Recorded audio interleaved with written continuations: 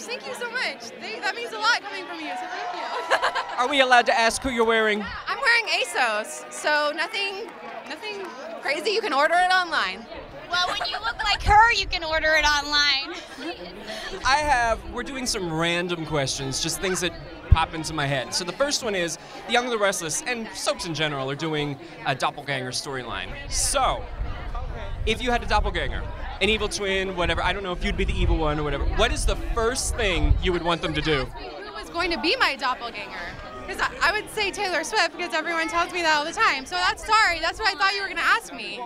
That's like a bo- that's like a bonus question. It's like Final Jeopardy That's with bonus. No, if, so uh, Taylor Swift is your doppelganger. What do you want her to do on your behalf first?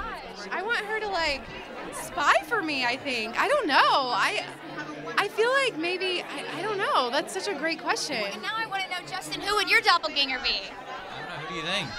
Ashton Kutcher. Ashton Kutcher. Maybe a young. Uh, yeah, I'm a Or younger. no, what's the guy from um everyone's pony? The guy from Matt, young Matt Dillon. Oh, Dillon. Matt Matt Young Dillon. Matt Dillon. I got that before too. Yeah. Yeah, yeah, yeah. I'll take either one. Either one's fine. Those are good ones. What are you gonna have him do? First thing, maybe something that you want to get out of. What's your doppelganger gonna do? First thing. What are they gonna do? Uh, something I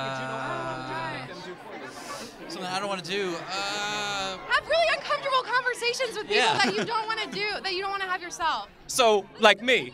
No, no, but if there was like anyone I would ever want to like, Yeah, like, like fire, like not like work, so like I'd be like. I'm gonna let that person do it, not me, because That I was would be, good. I'm A the worst. at that. Great save. I want to thank you for. Awesome. Uh, I want to thank you for dropping by. Last question though. We are on the Warner Brothers lot. What is one of your favorite all-time classic old movies? uh, I was just thinking Rebel Without a Cause, just Yeah, because like we were at the observatory last night. So. I was thinking some like it hot. Oh, All that's right. a good Yeah, one. That's yeah. a good one. I Yeah. love that movie. It's good. Classics. Very Yeah. good, guys. We're gonna let you enjoy the rest of the red carpet because it's really hot and really long. so good to see you. You guys look amazing. I'll see you inside and yes. we'll have a drink.